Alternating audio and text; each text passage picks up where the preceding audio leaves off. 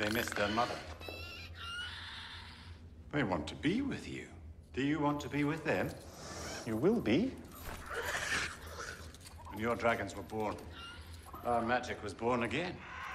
It is strongest in their presence, and they are strongest in yours. You will be with them. Through winter, summer, winter again. Across a thousand, thousand seasons, you will be with them. And we will be with you until time comes to an end.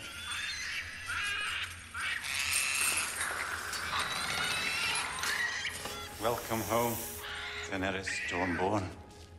This is not my home. My home is across the sea where my people are waiting for me. They will be waiting a long time.